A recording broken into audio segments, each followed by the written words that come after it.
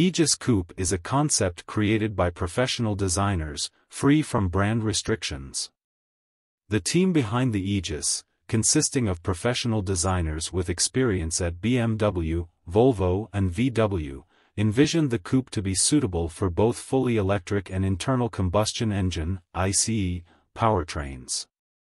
A group of talented automotive designers came together to imagine what a beautiful and innovative automobile could look like if the modern era embraced neo-Renaissance style. This perfectly symbolizes a tribute to the past while embracing the innovations of the future.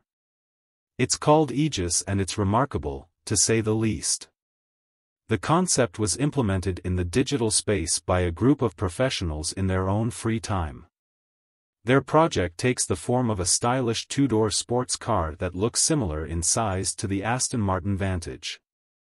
The wide grille at the front of the concept gives the vehicle a very friendly and approachable appearance. This grille is complemented by a pair of slim LED headlights and a relatively restrained bumper that does not include unnecessary air intakes like many other sports cars on the market at the moment. We especially liked the side profile of the car. The shape of the front quarter panels is particularly interesting and follows the shape of the wheels. The folks behind Aegis also made sure the doors were nice and smooth with recessed door handles. A wheel set that combines painted elements with silver and carbon fiber accents also attracts attention.